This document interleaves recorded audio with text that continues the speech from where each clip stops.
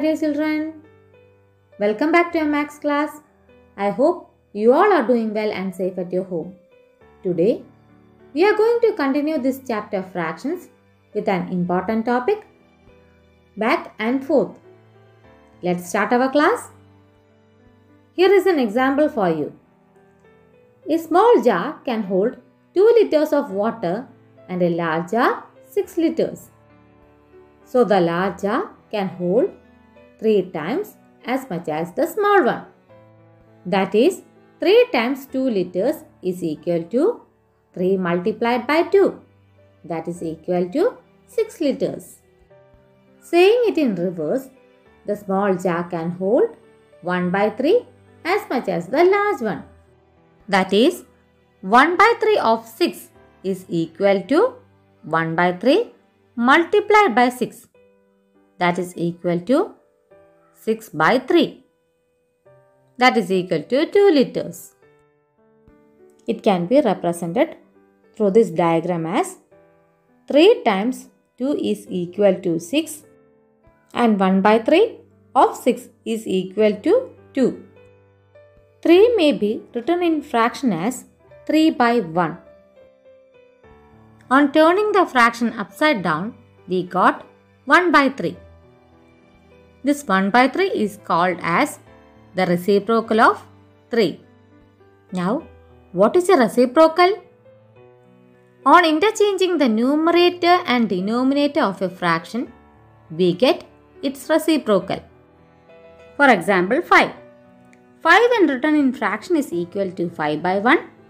On interchanging its numerator and denominator, we will get the reciprocal as 1 by 5. Next 2 by 5. The reciprocal of 2 by 5 is equal to 5 by 2. Next number is 3 and 1 by 2. This is a mixed fraction. For finding the reciprocal of 3 and 1 by 2, we have to first of all convert 3 and 1 by 2 into improper fraction. That is 3 and 1 by 2 is equal to 3 into 2 plus 1 by 2. That is equal to 7 by 2. Then the reciprocal of 7 by 2 is equal to 2 by 7. Is it clear for you? Next, activity number 1. The length of one string is 4 meters and the length of another string is 14 meters. We have to find what fraction of longer string is the shorter string. Here, we have to write the fraction shorter string with respect to the length of the longer string. Therefore, the length of shorter string is 4 by 14 of the length of longer string. We can find the lowest form of 4 by 14 by dividing the numerator and denominator by 2. That is 4 divided by 2 by 14 divided by 2. That is equal to 2 by 7 of the longer string. That is 2 by 7 multiplied by 14. That is equal to 2 into 14 by 7. That is equal to 28 by 7. That is equal to 4. Next question. How much times of the shorter string is the longer string? Here we have to find the length of the longer string with respect to the length of the shorter string.